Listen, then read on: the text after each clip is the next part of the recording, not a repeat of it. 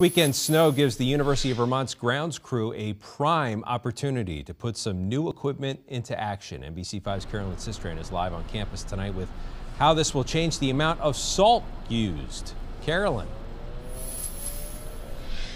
Yeah, Brian, this technology has actually been used over in Finland for the past several years, but now it is here on the UVM campus. The equipment uses software that can help determine how much salt is needed in a specific area, completely taking the guesswork out of the process sustainably salting during a storm to keep streets and sidewalks cleared. We have the control of the amount of product being delivered. That's what this machine will do. It's more than $20,000 and was purchased with sustainability funding available at UVM. It utilizes geo tracking to figure out where salt is needed, so it's not put down in places where it isn't. It uses GPS technology to locate your truck, your piece of equipment, and give us the ability from a remote location to predetermine uh, spread um, amounts. Anytime salt is used during snowstorms, it can have harmful impacts. According to the Environmental Protection Agency, road salt can contaminate drinking water, be harmful to animals, increase soil erosion,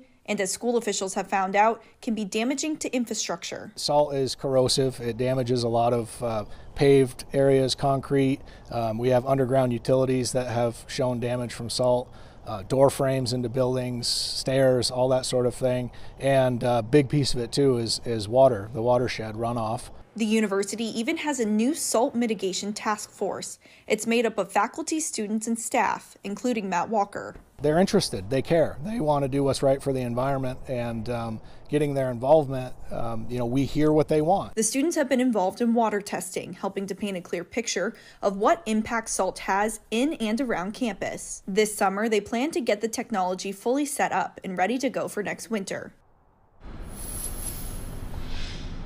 And grounds manager Matt Walker says they're still getting comfortable using this equipment, but certainly this weekend is an ample opportunity for them to test it out. They're hoping that this equipment will make a difference in helping their infrastructure last longer, help the campus be more environmentally friendly, and hopefully by using less salt, they'll be able to save some money. In Burlington, Carolyn Cistran, NBC5 News.